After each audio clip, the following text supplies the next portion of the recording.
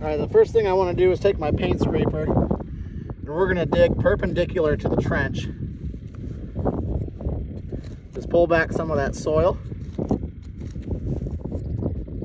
Oh, I found my seed right there. So we're going to go about five inches ahead of that. So hopefully we can find the next seed.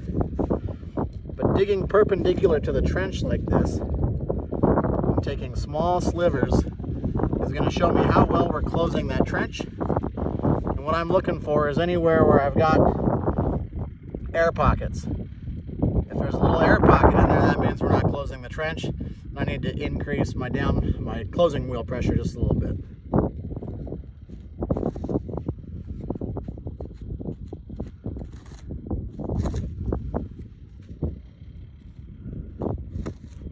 We should be getting close to that next seed.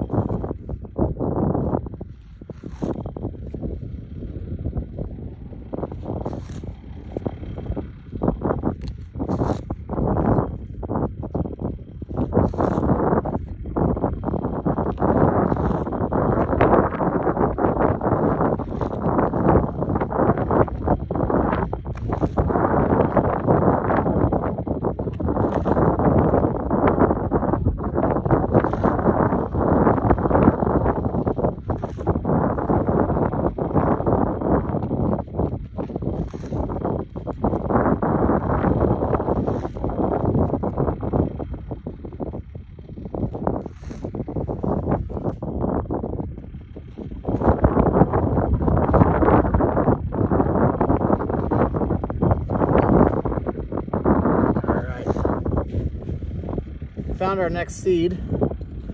I'll move some of this soil away so it's easier to see.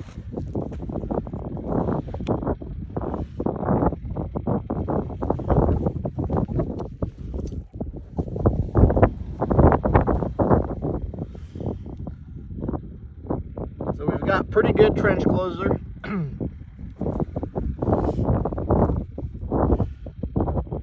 we've got pretty good trench closure moist soil all the way around that seed.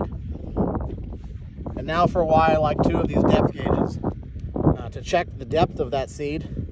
Some people will just say, ah, second knuckle's good enough. Uh, if I just put my gauge there, it looks like it's about two inches deep.